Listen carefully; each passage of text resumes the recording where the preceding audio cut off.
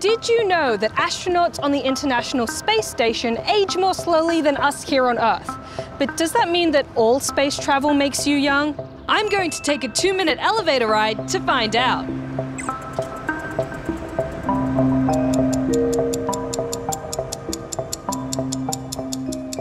Hey Devika. Hello, Rad. So I hear you're going to teach me about time and space. I'm gonna try. this is a great time to do it and a great space to do it. So are you ready?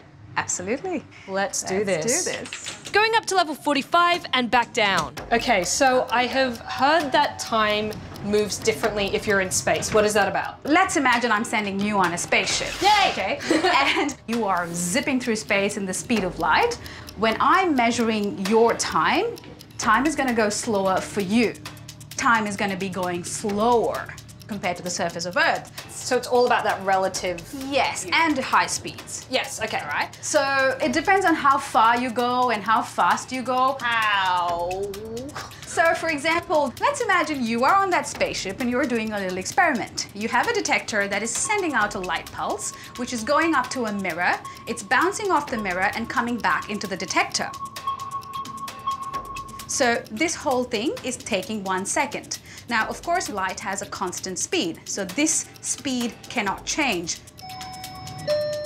Think of it as the clock one second, one second, one second, one second. Now I'm looking at it standing in an asteroid, and when I look at the light pulse, I also have to take into account the forward motion of the spaceship. Time it takes, from my perspective, for the pulse to go from the detector, reach the top, and then come back is not going to be a straight line, but it's actually going to do something like this. So I perceive relative to me that the time takes longer, and that's time dilation. Time is going to go slower for you. Because it's relative. Yes, that's right. Halfway through. Time has to change to keep the velocity of light constant. if, if the time's just moving relatively, it's not actually like biologically or in absolute terms Not for you. So for you, you wouldn't even notice a thing. Your one second is going to remain one second. But biologically, say twins, then when the astronaut who goes to space comes back, he would actually be younger relative to his twin. Relative to his twin, he'd actually be younger, the guy coming back.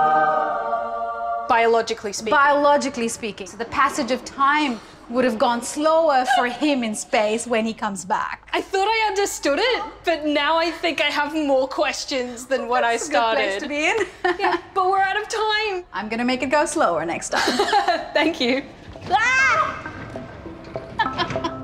So, time dilation is affected by extreme gravity and extreme velocity.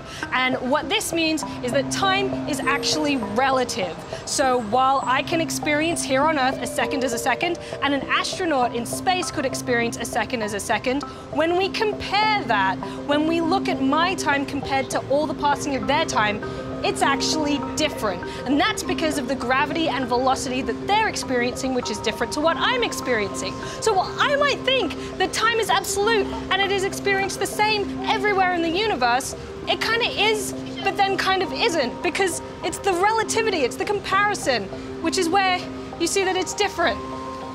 It's very complex, it's very upsetting. Thanks for watching. If you're like me and you want to learn more about special relativity, then please give this video a big thumbs up so I can convince them to let me do this again and learn more. And if you want to see next week's video, then don't forget to hit subscribe. See ya!